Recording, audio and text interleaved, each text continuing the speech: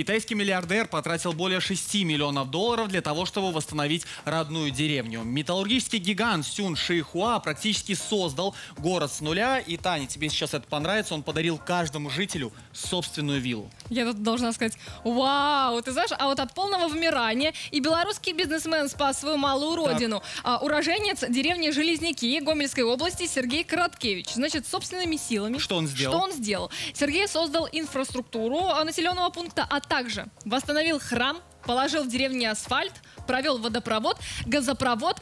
Вот. Малая Родина. О ней воспевали поэты и народная мудрость. Но, к сожалению, все реже и реже мы говорим о том, что патриотизм — это не только громкие слова, а это еще и поступки. Это Пин-код. Меня зовут Татьяна Матусевич, это Жан Синкевич. И мы начинаем.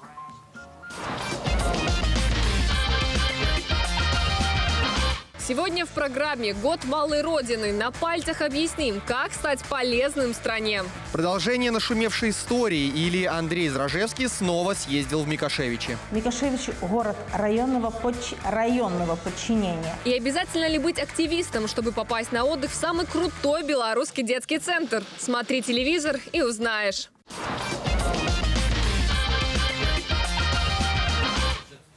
Год малой Родины – тема нашего эфира.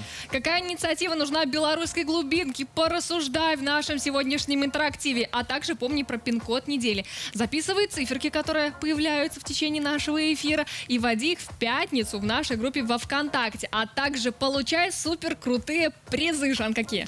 У тебя есть возможность получить подарки от наших друзей и партнеров компании Markel Cosmetics. Да, ну а к нам уже присоединились наши первые героини. Ну что же, я с радостью их представлю. Ученики Крошинской средней школы Бараночского района Кристина, Оля и Ангелина. Девчонки, привет. Здравствуйте. Привет, как настроение? Бодры, дружны, веселы. Давайте рассказывайте, вообще, откуда взялась инициатива делать э, добрые дела и что вы делаете? Ну, мы так воспитаны просто вот э, с самого рождения. Мы любим родину Да. свою малую, и поэтому мы активно принимаем участие в ее жизни, помогаем ей. Ухаживаем за ней. Да. Ангелина, у меня вот к тебе вопрос. А ты всегда была с самого детства активисткой? Ну да, я стараюсь. Ну, я как бы ну, родилась в Крошине и уже 17 лет здесь живу.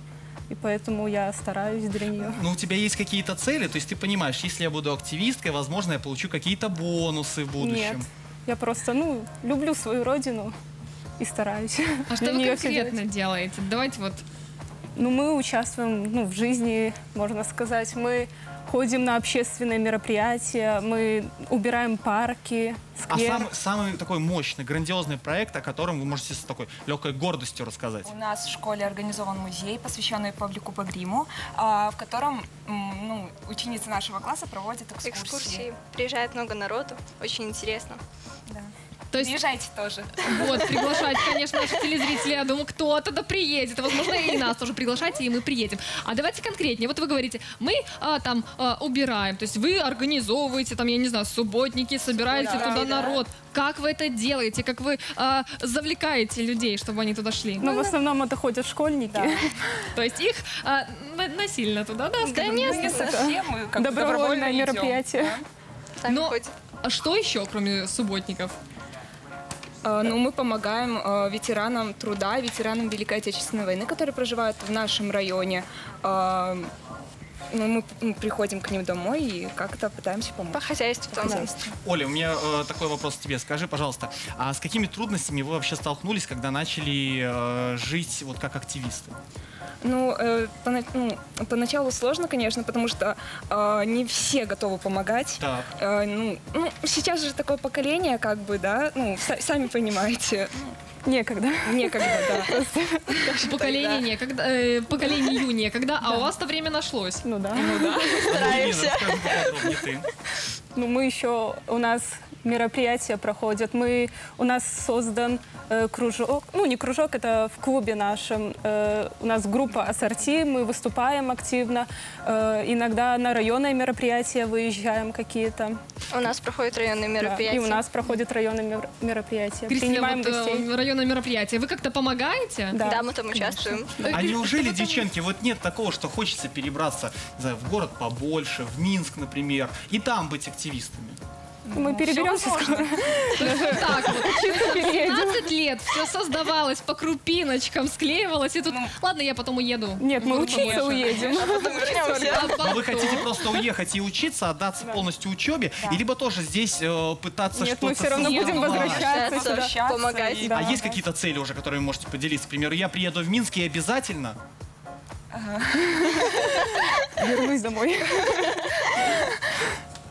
То есть пока планов нет. Ну, Пока да. таких сильных Ладно. Ну, Оля, да, есть например, планы, как поднять провинцию. Да, вот Оля, например, давайте вот каждая, как бы ты подняла свою провинцию? Ну, говорить о ней везде, э, как бы, То есть вот для этого как раз в Минск и нужно поступать, да? да. Продвигать. пропаганда. Рекламировать. Рекламировать ее как- как-то. Как? Ну, потому что у нас действительно интересно. У нас э, не, некогда скучать, у нас активная жизнь. Даже иногда времени просто свободного нет, потому что всегда заняты. И... Но у нас проходят даже вот купала, мо- могут люди Так. приезжать вот на концерты, там организовывается большой концерт на улице с дискотекой, потом ну, тоже как бы интересная общественная жизнь Очень весело. проходит. А есть какие-то пункты, вот, которые вам кажется, что Минск мог бы спокойно у вас позаимствовать, что у вас это есть, а вот Минск... Кристин, как ты? Ну, у нас очень интересное мероприятие, туда очень много народу приезжает отдохнуть. Вот, может быть, в Минске не всегда так. Отдохнуть в смысле там на речку летом или какие-то масштабные мероприятия? у нас там как бы, э, ну, масштабные мероприятия проходят районного уровня. Ну, очень интересно, концерты, там программы всякие разные, дискотеки даже. Ну, То есть очень этого интересно. Придумываете все эти мероприятия. Вот вы втроем собрались. Нет, у нас руководители. да. И Так. четвертый. Да. Руководители, У нас Дом культуры очень активный, Да. помогают, делают мероприятия. Ну, и мы им помогаем. ансамбль есть. Есть. Да. Вообще, к чему мы сегодня говорим про год малой родины? Я э, напомню нашим телезрителям. Дело в том, что 2018 год — это год малой родины. И, кстати, а, девчонки, вот для вас такая информация. Наш президент сказал, я цитирую, «А, мы э, можем сделать э, какой-нибудь населенный пункт, возродить, скажем, да, малую родину и сделать там все для себя, для жизни. И плюс ко всему, мы можем этот населенный пункт назвать в свою честь. Так что, девочки, возвращаетесь из Минска, создаете что такое этакое. И, пожалуйста, вот, населенный пункт имени себя.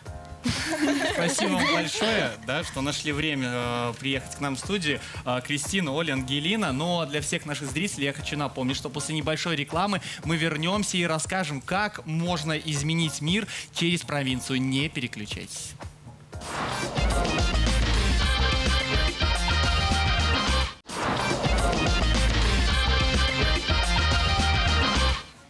Это пин-код «Год малой Родины» — тема нашего сегодняшнего эфира. В нашей группе ВКонтакте мы обсуждаем, какая же инициатива нужна белорусской глубинке. Может быть, где-то нужно построить дворец ледовый, э, дворец спорта, где-то клумбу посадить с цветами. В общем, напишите ваши предложения, мы их обязательно прочтем. Но я хочу рассказать, что за время рекламы к нам в студии присоединились воспитанники Аршанского районного центра детей и молодежи. Это Антон, Ростислав и Захар. Ребята, привет. Привет! Добрый день. А, так, Антон, сразу к тебе вопрос. Расскажи поподробнее о ваших проектах, что вы такое интересное Это к Антону вопрос, потому что он главный. Конечно. Давай.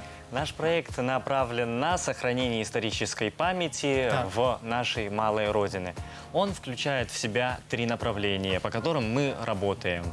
А, Первое направление – это святыни Малой Родины, то есть сохранение а, каких-либо исторических культурных памятников в том виде, в котором они есть. Таковыми памятниками стали Сосновый Бор, храм, часовня, которая стоит на месте храма в деревне Барань. Это, И, который, это в Варшанском районе. да, в Варшанском районе. Так. И, кстати, вот этот вот храм на данный момент на- находится в музее под открытым небом Стручицы.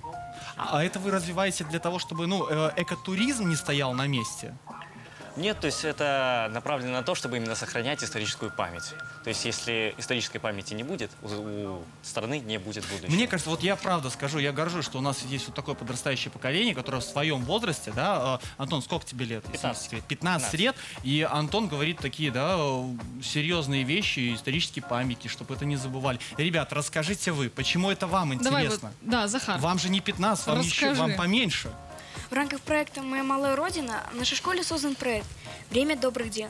Целью этого проекта является оказание помощи нуждающимся, готовность к любому виду деятельности на благо своего города.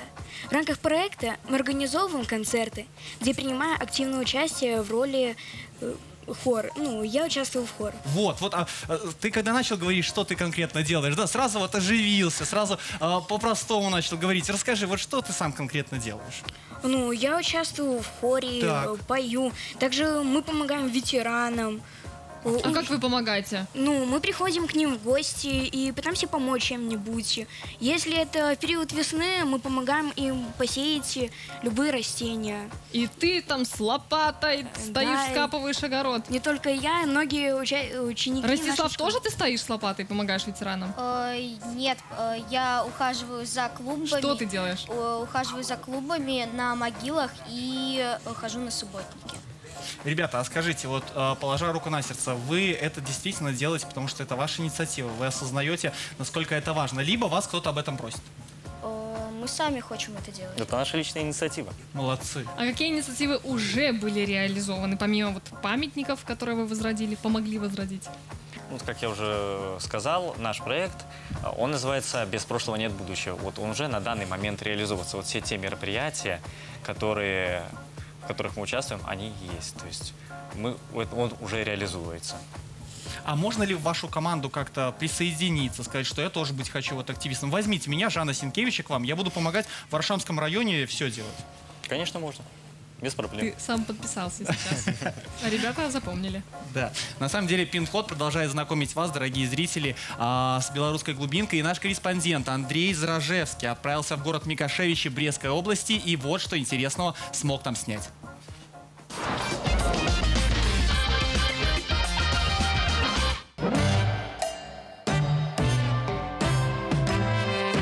Вот и они, Микошевичи.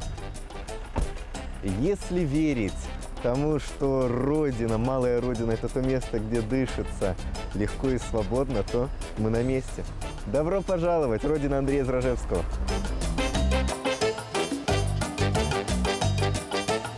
Как-то всегда очень сложно приезжать в край любимый, край знакомый.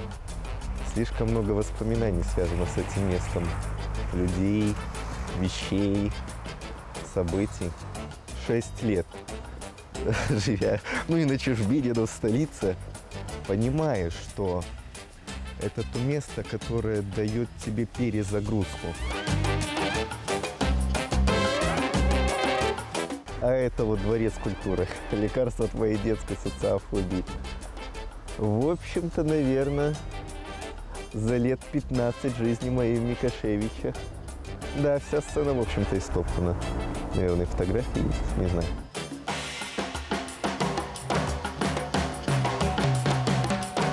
А вот это вот мой детский сад. И почему именно это место? Я его просто обожал. На этих качелях, ну, собственно, вот уже самих качелей не висит, но я их помню. Даже скажу по секрету, приложил руку и ногу для того, чтобы их уже здесь не висело. А вот как раз сразу впереди моя школа. Ну, собственно, уже понятно, да, ушел недалеко, буквально через забор перелез. Но вообще вот это вот место детского паломничества, оно волшебно.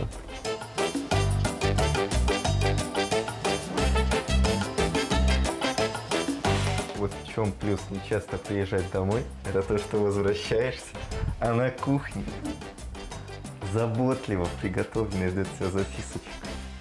И в несколько слоев завернуты.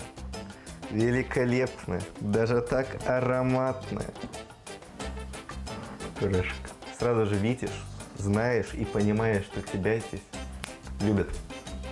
Ну все, иди. Для меня родина это, наверное, все-таки люди, которые здесь остались. Для кого-то этот город, каким бы он ни был, это целая жизнь. Я сюда приезжаю, и я вижу, как изменился я. Я вижу, как меняются эти люди. И, ну, наверное, правильно Махатма Ганди говорил, что наши жизни измеряются жизнями окружающих нас людей.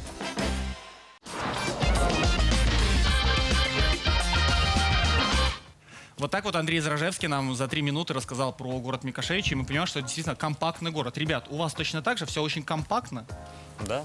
В принципе, город Бара небольшой городок, но я его очень люблю, как свою малую родину. Ростислав, расскажи, пожалуйста, мы знаем, что у тебя есть э, очень интересная история э, интересный проект. Хочется поподробнее, чтобы ты рассказал. В моем проекте 12 объектов и 4 маршрута.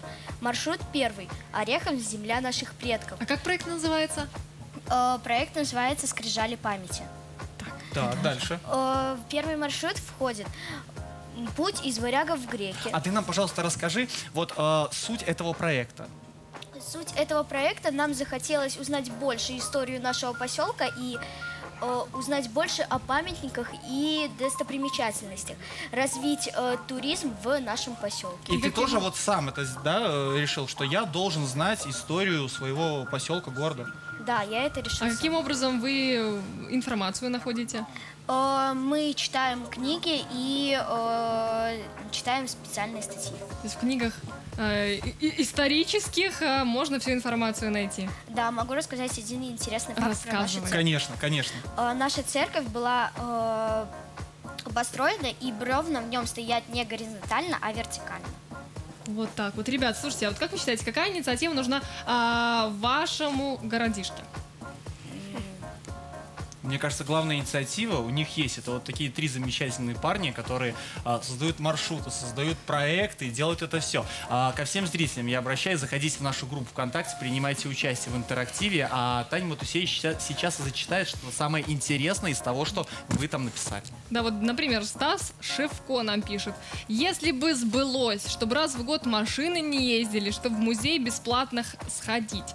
Я не знаю, как э, вот откуда там Стас, да, но я знаю, что в Минске, если не ошибаюсь, в месяце в мае есть э, такой день, когда Так. музей распахивает свои двери и можно бесплатно посетить.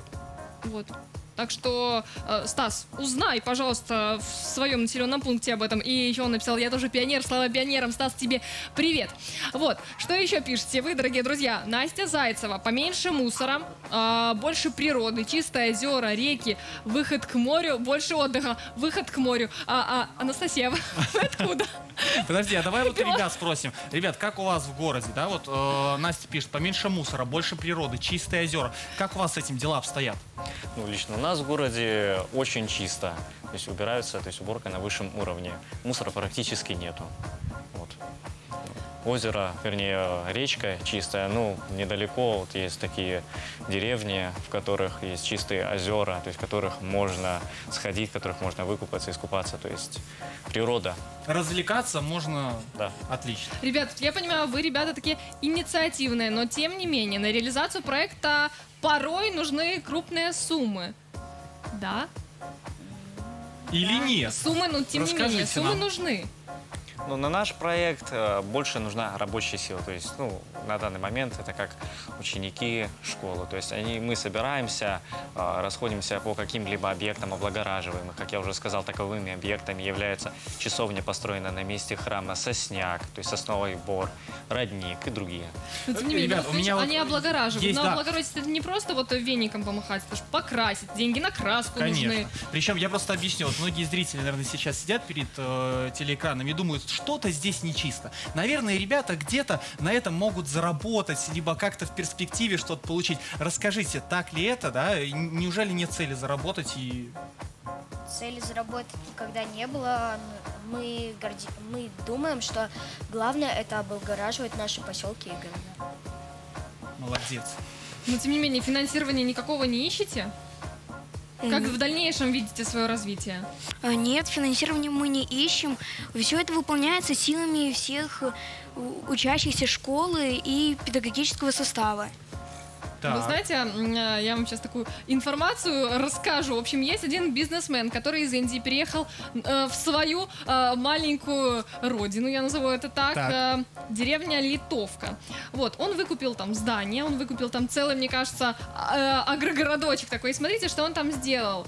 Написано на наступный припынок Гранфолде. В общем, что он сделал? Он полностью реконструировал а, дома, здания, в общем, все, а, всю в реалистическом а, стиле. И сделал такой парк. Причем бизнесмен сдает вот эту вот всю красоту бесплатно. Он говорит, Бесплатно? Да, он говорит, бесплатно, приезжайте, делайте мероприятия, отдыхайте, развлекайтесь. В общем, все, что хотите, э, делайте.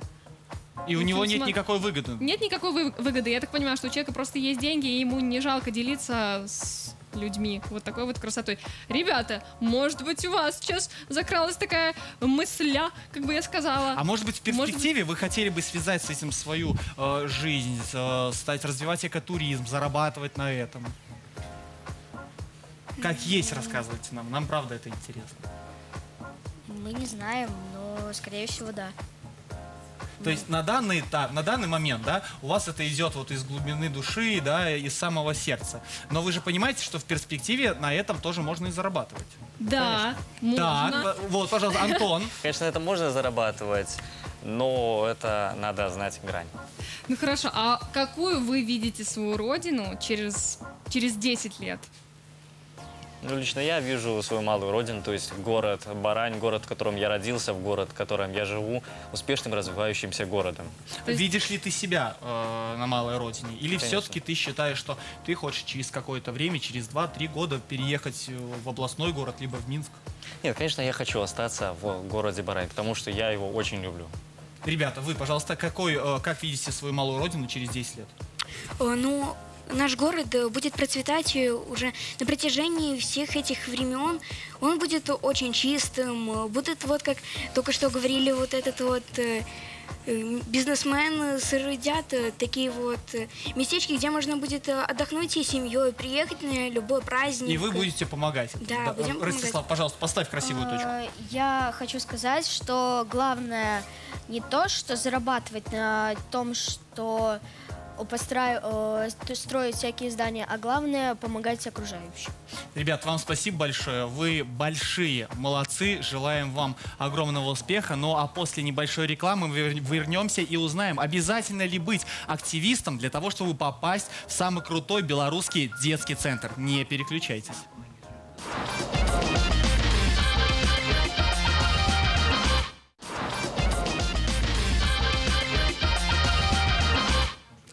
Это пин-код, тема сегодняшнего выпуска «Малая Родина». Друзья, заходите в нашу группу ВКонтакте и пишите свои инициативы. Чего не хватает белорусской глубинки, на ваш взгляд? Но за время рекламы у нас в студии стало многолюдно. Расскажу, кто у нас здесь сегодня находится. За время рекламы воспитанники Борисовского центра экологии и туризма к нам присоединились. Это Полина и Елизавета. Методист Национального детского центра «Зубренок» Анна Зеленко, а также лидер пионеров Аршанского района Лариса Рудковская. Здравствуйте. Всем здравствуйте. Я Здравствуйте. предлагаю начать с Полины и Елизаветы. Расскажите о своем проекте. Мы не представляем какой-то определенный проект, мы представители Борисовского центра экологии и туризма. Как уже упоминалось э, э, об обращении президента, Да. он также указывал, что в этом году каждый человек должен не только вспомнить о своей малой родине, но отдать должное своему кусочку земли. Поэтому мы занимаемся... ну, Мы занимаемся облагораживанием территории, мы улучшаем экологическую ситуацию в нашем городе. Мы э, направлены на то, чтобы сделать наш город лучше. Лучше настолько, насколько это возможно. А, каждый год мы участвуем в таких акциях, э, как «Посади лес». А также а, нашей одной из самых любимых акций является акция «Зробим». Это акция направлена на очистку города от мусора. Какие бонусы вы получаете за то, что вы такие активистки и участвуете во всех этих акциях? Э, Мы ездим в различные лагеря, на различные мероприятия, отправляемся, конференции, конкурсы участвуем. Э, Вот нас сегодня пригласили сюда, так как мы активистки, да. Но вообще получается получается что-то делать. Конечно, Уже результат получается. виден. Я просто пролистываю как раз сайт э, с вашими фотографиями. Может нам что-то рассказать? Это все проекты, да? Загадки природы, осенние дни, наблюдения за птицами. э, Да, у нашего наблюдения. экологического центра э, довольно-таки э, большая активная деятельность. Э, если пролистывать сайт, на нем можно зависнуть даже на целый день, рассматривая все, что мы А можно делаем. ли присоединиться к этим проектам? Э, Конечно. Также у нас на э, распространение информации работает э, э, шестой школьный день. У нас каждую субботу проводятся экскурсии по экологическому центру и по агроучастку рядом с ним. Э, Проводится агитация среди школьников. э, Э, Также наше учреждение доступно общественности посредством функционирования нашего сайта, на котором много различной информации, фотографий интересных. А туристы-то уже появляются? Их больше, точнее, появляется? Конечно, также наш э, центр, он организовывает поездки на девятидне- в девятидневный лагерь на базе деревни Корсакович, поэтому у нас как бы туристическая деятельность тоже ну, очень развивается и очень интересно. Такая насыщенная жизнь. А вы учиться успеваете? Когда вы учитесь? Когда домашние задания делаете? Ну, вся наша жизнь, вся наша активность, она научила нас совмещать и приятное, и полезное, и активную деятельность в центре и в школе. Лариса, а чем занимается ваш центр и как вы э, поднимаете престиж периферии? Наш центр занимается развитием творческих способностей детей и молодежи, ну, в общем-то, как и все центры. А вот одно из направлений этого центра, чем конкретно занимаюсь я, это работа с детскими и молодежными организациями и молодежными инициативами. В связи с этим у нас в 2015 году был создан такой интересный детско-молодежный штаб, который так и называется «Инициатива». Штаб объединяет э, около 150 самых инициативных ребят нашего района. Они э, иници- инициируют проекты и сами стараются по возможности, без помощи взрослых, эти проекты реализовывать. То есть это ребята, которые не боятся фразы «инициатива наказуема». Нет, им такая фраза не знакома. Они приходят к вам с проектом, говорят, вот я хочу помочь тем-то, тем-то. Нет, как? вообще это очень длительный процесс. Попасть в этот штаб очень сложно. Для Вот этого так сначала нужно проявить себя на уровне пионерского отряда, пионерской дружины, районной организации. Потом проводятся специальные выборы, где за ребят долго голосуют их друзья с их школы, с других учреждений, педагоги, родители. И только те, кто набирает наибольшее количество голосов, это всего лишь 15 человек, могут пополнить наш штаб. Хорошо, а если э, в штаб я не буду входить, но у меня есть идея, инициатива, да, как сделать э, мой город, э, мой населенный пункт лучше, я могу написать вам письмо? Вы можете прийти к нам с этой инициативой, мы ее рассмотрим. Если она толковая инициатива, мы ее поддержим. И вот этот штаб уже принимает решение. Да. Вот так. Вот уже сложно, мне кажется, все у вас. Зато интересно. Зато интересно. Анна, вопрос к вам. Как Зубренок поддерживает э, год малой родины? А, ну, на самом деле у нас очень широк, широкая и большая многоуровневая система, и мне кажется, что самым важным, чем мы выделяемся, это то, что к нам стекаются дети со всех уголков Республики Беларусь. То есть мы ежегодно принимаем около 16 тысяч детей, поэтому это позволяет детям не только рассказать о том, откуда они, а рассказать информацию о своем родном городе, но и подчеркнуть что-то новое. А дети Ведь- вот как-то они осознают то, что вот у нас сейчас идет год малой родины. Они предлагают какие-то идеи или они приезжают, вот, грубо говоря, на бренд, потому что Зубренок это бренд. А, ну, на самом деле, у нас есть тематические смены, которые реализовываются специально приуроченные году Малой Родины. Вот буквально вчера от нас уехали ребята, которые являлись участниками смены на перекрестке родных дорог. Это были юные географы, которые приехали сюда, в Зубренок, для того, чтобы изучить э, этапы, возможности, э, всевозможные методы изучения своей родной земли. То есть они ознакомились с информацией, они посетили экспедиции, они познакомились с известными географическими возможностями изучения своей малой родины. А, Потом также вот буквально через пару дней у нас будет новая смена, которая называется а, «Веков связующая нить». Это ребята, которые а, писали исследовательские работы по теме малой родины. А, Они описывали здесь свои города, поселки, истории своих городов, деревень. И Некоторые писали историю своей семьи в своем регионе. И э, приехав в Зубренок, они уже будут изучать непосредственно как работать с архивами, как искать информацию, как познакомиться, как э, провести экспедицию, узнать что-то новое и э, Приехав домой, эти дети получают такое поручение. Соответственно, дома они должны будут все те знания, которые они получили Применить. в Зубренке, применить Применить. и отправить нам в Зубренок э, не- ну, информацию. Ну, такой мини-отчет мы называем. Фидбэк. Да?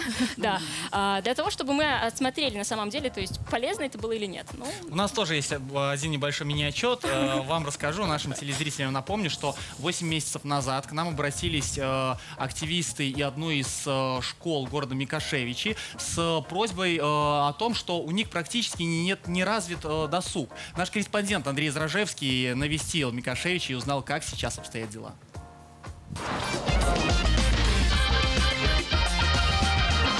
Нет никаких э, центров, чтобы э, молодежь развивалась. Не проводят дискотеки? Вообще ничего не проводят. А в остальном даже дочь на периферии развлечений.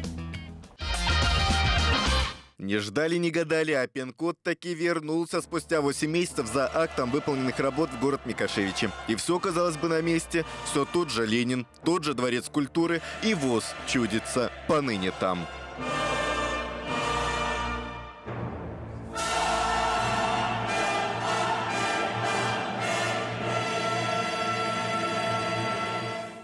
Самые большие мероприятия, это у нас в этом году было День гранита, потом на Новый год был, были огоньки, э, перед Новым годом был День гранита, там была такая хорошая развлекательная программа. Диана признается, после выхода в эфир программы июньского материала против детей в интернете развели настоящую травлю. Подпоясанные сетевыми кабелями горожане клокотали. Да как так можно? Да плохо, да не устраивает, но чтоб ссор из избы. У нас э, было много жалоб, начали писать потом то, что мы поделились плохими материалами, сказали то, что это все не насильственно, а то, что это мы должны сами делать. Очевидного, конечно, школьница не отрицает. Водичка в провинциальном болоте пусть и не взбушевалась, но слегка забулькала. Концерты и правда чуть ли не каждые выходные с вечера до глубокой ночи стали греметь. Но детям-то что? 10.00 по комнатам и спать.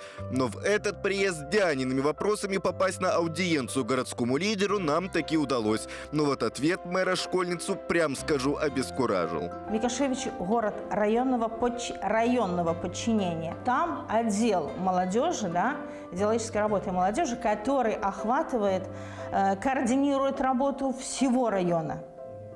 Вот там уже люди, отвечающие за направление. Ну и получается, что этот район, координирующий всю молодежь района, они игнорируют Микошевич?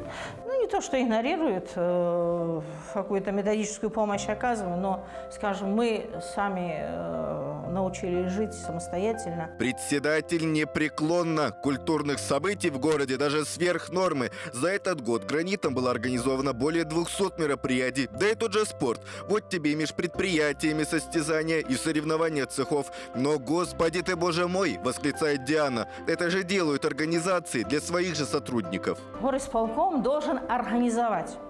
Я же не клоун, извините за выражение. У нас таких два города в области. Белозерск и Микошевич. У нас нет своего бюджета. Рай и сполком. И управление там, и отделы там по направлениям деятельности, и средства там. Выходит, врут, вздыхает Диана. А вы вообще вот слышали что-нибудь о молодежной политике города? Нет. Что для вас делает город? Не знаю. На самом деле все проводится, а они сами не хотят. Получается так, Галина Павловна?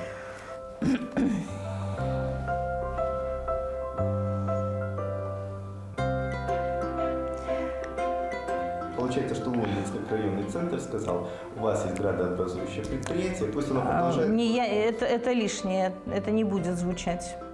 Не надо, не надо таких провокационных вопросов. Понятно? Не надо. И вот кому теперь верить, спрашивает Диана, когда по документам досуг есть, а счастья нет. И на том девушка говорит спасибо пин-кодом, поверженной в страх бюро прогнозов, осадков не сулит уж никогда.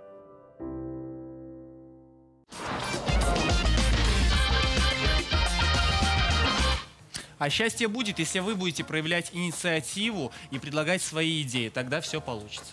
Да, а у нас, я напомню, что мы вот такой вопросик еще Да. не затронули. Анна, у меня к вам вопрос. Вы говорили про активистов, что только вот такие а, целеустремленные ребята могут попасть, а обычные? А, Для того, чтобы Не попасть активист. в зубренок, э, соответственно, ну, во-первых, мы центр э, для лидеров, да, то есть мы для детей активных в целом, да, потому что если ты безучастный, если тебе лучше полежать дома на диване и посмотреть телек, соответственно, э, то в зубренке тебе будет неинтересно. В зубренке телека нет. А, Если, подождите, есть. вопрос, который волнует Да. всех. Есть ли Wi-Fi в зубренке? Есть. Все. Wi-Fi есть. Соответственно, а, для того, чтобы попасть в зубренок на профильную смену, а, мы чаще всего а, объявляем различные конкурсы.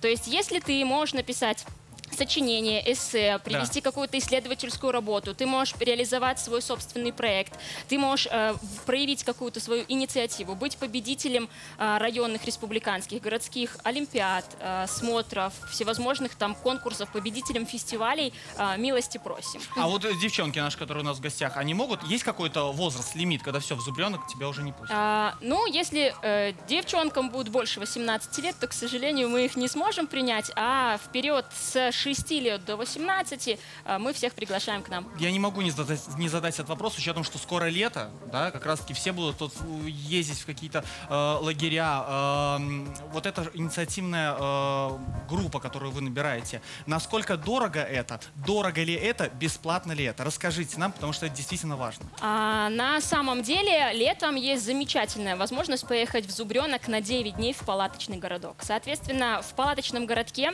это такая романтика, песни у костра, гитара, э, жить в комфортабельных палатках, соответственно, э, спать на кровати и при этом- палатке? в палатке на кровати, да. И она отапливается. Лариса, вы да. так А вы рассказываете, как будто да, уже были там. А потому что мы активно работаем. На самом деле, вот пока э, мы ждали вашу передачу, Да. оказывается, мы с Ларисой знакомы. Мы вместе были на пионерской смене в 2015 году. Э, поэтому, как И говорится, тем очень более тесен я мир. у нас в Орше, в Варшанском районе, занимаюсь тем, что я комплектую группы в Зубренок. Это происходит 2-3 раза каждый месяц, поэтому я в курсе всех событий. То есть ваши ребята систематически посещают... Ну не зря же у нас есть штаб инициатива. Ох, друзья, а Давайте какую же инициативу да, предлагают при- поднести а, в малую родину? Пишет Наталья, самое главное это любить свою родину. Кстати, вот ребята, которые к нам сегодня приходят, мне очень приятно. Вы, я вижу в душе, как вы очень любите свои городки, деревни и так далее. А, да, площадки для детей, пишет нам Ольга Жихар, еще говорит, на, э, заасфальтированные дороги, невозможно ходить, особенно старикам. Кстати, очень приятно, что да, вот заботится не только о себе, но Да. и о других. Развивайте агротуризм, написал нам Вадим. Девочки, у вас клиенты прям поперлы, видите? Вот. А, Хотя бы маленькие дороги нормальные и хотя бы маленькие магазины. Автобусы чаще пускать с города в деревню тоже вот написала нам такое предложение Полина. Анна, у меня к вам вопрос. А есть ли вот среди всех инициатив, которые выдвигают ребята, да, подростки, а, какой-то такой топчик? Ну, самые популярные, самые наболевшие, о чем ребята пишут, что предлагают? А, ну, наверное, в самое последнее время а, особо актуальны вот исследовательские работы, и так как у нас э, есть год малой родины, то в большинстве своем сегодня эта тема актуальна и популярна. А, очень большое внимание уделяется, конечно, профориентационному направлению, потому что ребята все интересуются будущей своей профессией, они заинтересованы в том, чтобы получить качественное образование. Поэтому очень большое количество проектов именно связано с этим направлением. Также мы работаем с ребятами-лидерами, и ребята также присылают такие вот интересные проекты. Не так давно, а, к году как раз-таки Малой Родины, у нас Так, был реализован расскажите. проект, называется он а, «Легендарная Беларусь».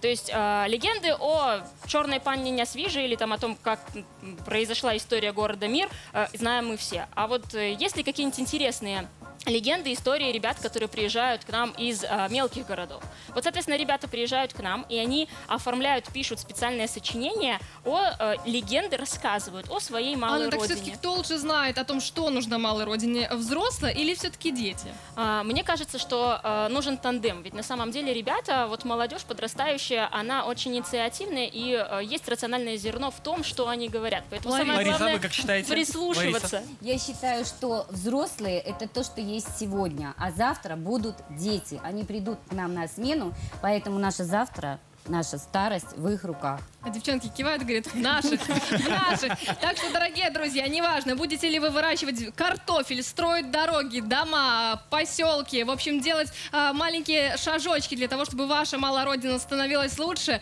это будет действительно очень здорово. Всех гостей, которые у нас сегодня были, я хочу поблагодарить, что вы нашли время приехать к нам в студию. Вы действительно поделились информацией, которая, я уверен, для многих телезрителей будет полезна. Ну а если вы сегодня смотрели пин-код и у вас есть какая-то идея, инициатива, с которой вы хотите выступить, я думаю, вы уже знаете, куда стоит написать, кому рассказать. Даже если вы напишите нам в группу ВКонтакте, мы постараемся вам помочь. Это был пин-код Жан Синкевич, Татьяна Матусевич. Смотри телевизор и слушай маму, и смотри пин-код, не пропускай наши выпуски. Пока. Всем пока.